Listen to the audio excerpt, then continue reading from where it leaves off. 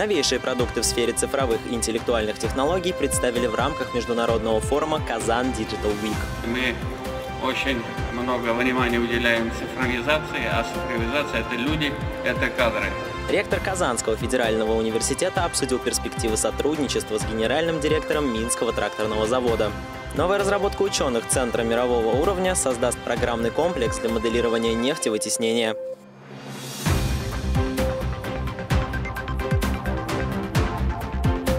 Всем привет! В эфире «Универ News, а в студии Вадим Выборнов. Студенты КФУ стали обладателями специальной стипендии президента Республики Татарстан. Размер ежемесячных выплат составит 7 тысяч рублей. Стипендиантами стали победители и призеры всероссийских олимпиад школьников и выпускники, набравшие 100 баллов по результатам ЕГЭ.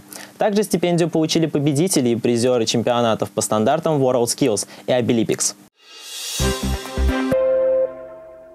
С 21 по 24 сентября в Казани проходит международный форум «Kazan Digital Week 2021».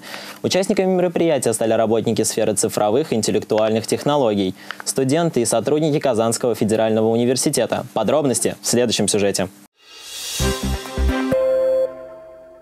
Kazan Digital Week – это международный форум, направленный на коммуникацию разработчиков и пользователей цифровых технологий, а также презентацию инновационных проектов в сфере digital -разработок. В этом году форум проходит в смешанном формате. Площадкой для презентации проектов был выбран выставочный комплекс Казань Экспо. Помимо торжественного открытия форума Digital Week, в выставочном комплексе стартовал отраслевой чемпионат в сфере инновационных технологий Digital Skills 2021 очень много внимания уделяем цифровизации, а цифровизация – это люди, это кадры.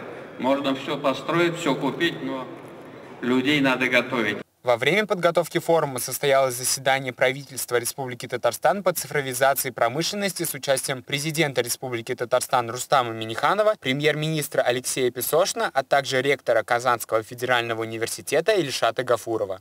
В рамках форума организаторы устраивают технические визиты на главные промышленные площадки города Казани. Участники и спикеры во время форума посетят Иннополис, IT-парк, Казанский вертолетный завод, предприятия Метроэлектротранс и Казанские университеты, среди которых есть и Казанский федеральный университет. Площадкой для технического визита в КФУ был выбран Центр цифровых трансформаций. Центр цифровых трансформаций занимается всем, что связано с цифровизацией, и форум он как раз посвящен этой тематике.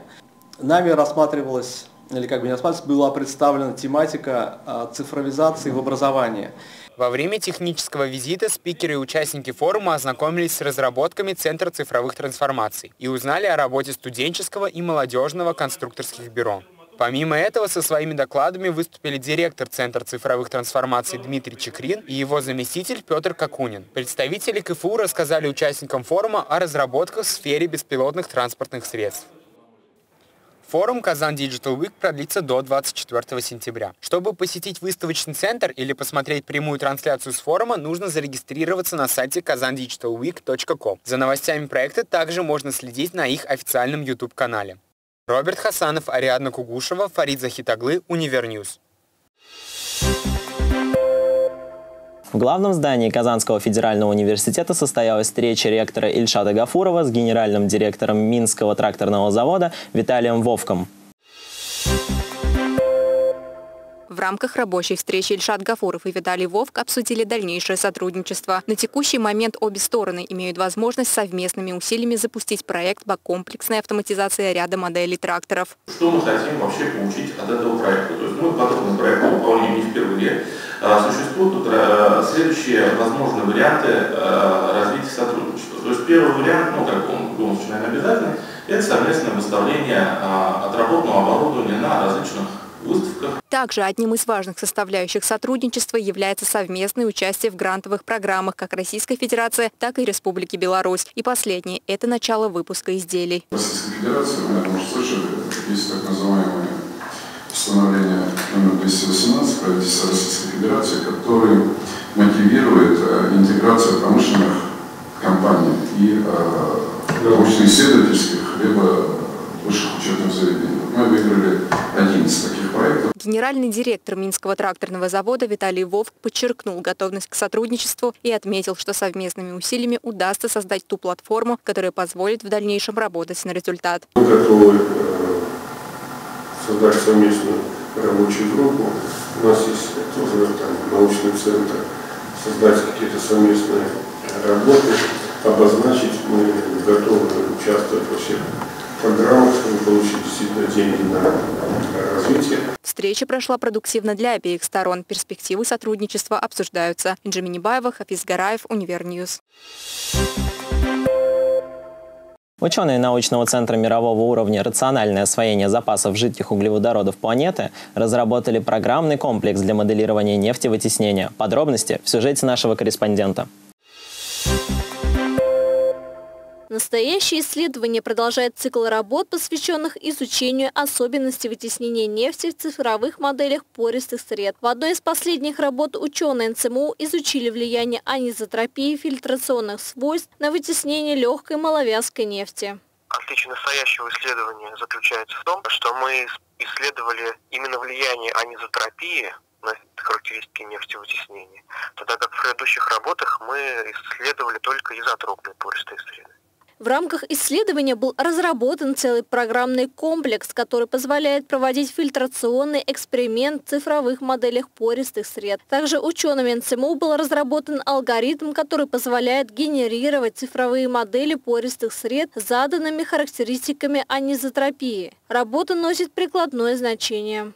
В работе были построены, к примеру, карты эффективности нефтевытеснения для различных сред с различной анизотропией порового пространства, а также был определен э, наиболее эффективный режим э, нефтевытеснения в координатах межфазного натяжения и краевой угол смачивания. В дальнейшем э, мы планируем усовершенствовать наш программный алгоритм с точки зрения учета влияния статической и динамической адсорбции.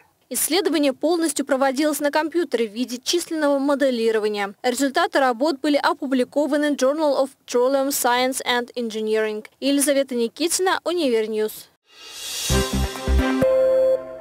В библиотеке имени Лобачевского Казанского федерального университета состоялся отборочный этап республиканского конкурса «Лучший государственный гражданский служащий», который был организован аппаратом президента Республики Татарстан. Пакет заданий для конкурса подготовила Высшая школа государственного и муниципального управления КФУ. Приходили люди из бизнеса и через полгода вздувались, как футбольный мяч, попавший на какой-то гвоздик. Приходили ко мне, опустив голову и говорили, я думал, что. Я думал, что вы сидите все на деньгах и раздаете кому дам, кому не дам. На самом деле, э, та служба, которую вы сегодня здесь представляете, и та э, работа, которую вы делаете, она заслуживает очень большого уважения.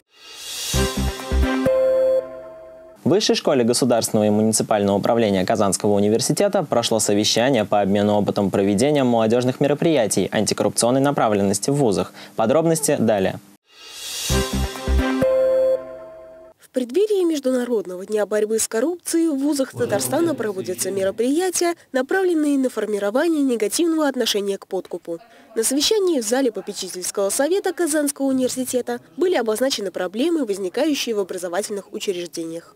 Существует целый бизнес, теневой бизнес, наверное, бизнес, который направлен в первую очередь на подрыв системы образования, на продажу дипломов. Определенные заказы достаются родственникам, двоюродным братьям, сестрам, иногда и родным на выполнение каких-то работ, например, распечатывание методических рекомендаций, поставление какой-то печатной продукции в высшее учебное заведение. Важную роль в предотвращении коррупционных прецедентов играет информирование всех слоев населения, начиная со школьной скамьи. Студенты, как наиболее социально активная группа, были приглашены к диалогу с представителями вузов и администрацией республики. Министерство дела молодежи – это Министерство диалога с молодежью. И как раз студенческая антикоррупционная комиссия уже много лет доказывает о том, что есть такой инструмент коммуникации между нами, между руководством вузов по тем вопросам, которые вызывают иногда спорные моменты, иногда неинформированность, иногда недопонимание, иногда какие-то серьезные моменты, которые мы дальше совместно разбираем. Но от вас зависит эффективность этой площадки, потому что э, диалог не только должен быть идти со стороны руководства вузов, но и со стороны вас, молодых ребят. В Казанском университете также проводятся работы по предупреждению и профилактике коррупционных проявлений. Со стороны КФУ в совещании принял участие проректор по общим вопросам Ришат Гузейров. Ариадна Кугушева, Булат Садыков, Универ News. На этом все. В студии был Вадим Выборнов. Сюжеты из выпуска ты сможешь найти в наших социальных сетях, а также на сайте телеканала. До новых встреч!